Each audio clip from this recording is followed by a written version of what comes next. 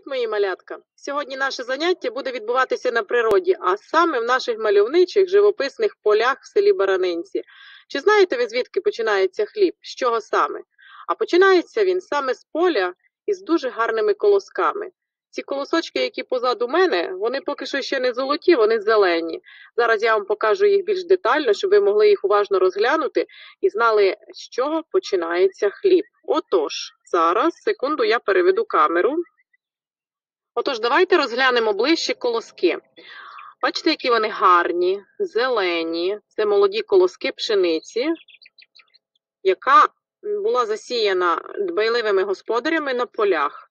Ця пшениця буде гарно колоситися та наливатися на нашому чудовому закарпатському сонці.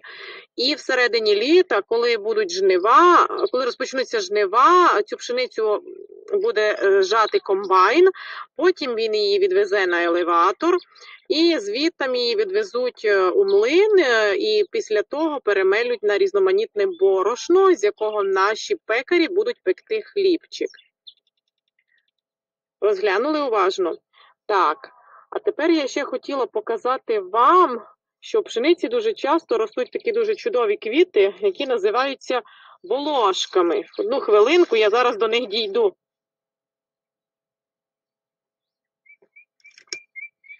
Всім видно. Бачите, в наших полях ростуть дуже чудові волошки. Я пропоную вам одного вихідного дня взяти маму за руку і відвести її в поле, і нарвати дуже чудового букету із польових квітів та колосся. Ну, а далі ця пшеничка наливається і поступово стає жовтою. Бачите, вона стає далі золотою.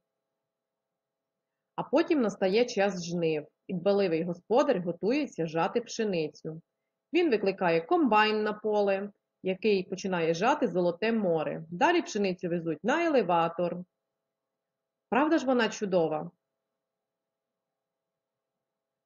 Ну, а далі з елеватора зерно прямує до млину. Такими були стародавні млини, вони були водяними та повітряними. І от уже білосніжне пухке борошно у нас в руках. Ну, а з борошна місять та формують хліб і кладуть його в піч. От хліб щойно вийняли з печі, він ароматний, ще теплий і сонячний, він мандрує до нас. І от він лежить на столі. Справжній господар. Смачного!